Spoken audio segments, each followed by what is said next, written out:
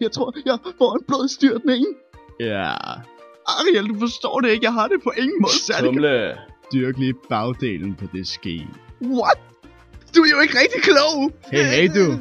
Vi to skal ud og have det sjovt.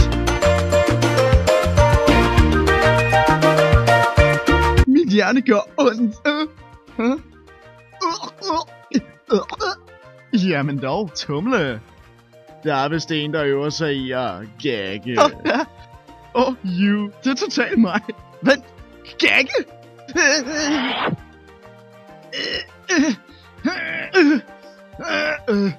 Hæ? Dit buttede dyr. Åh oh, ja.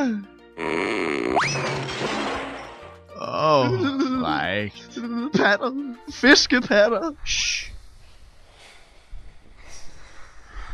Hmm. Oh my god. Tumle.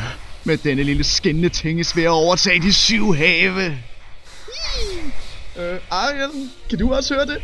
Ja, jeg kan ikke høre en skid, men jeg har virkelig lyst til at slå dig ihjel. Uh, what? Ja, den er god nok. Jeg er knald i låget.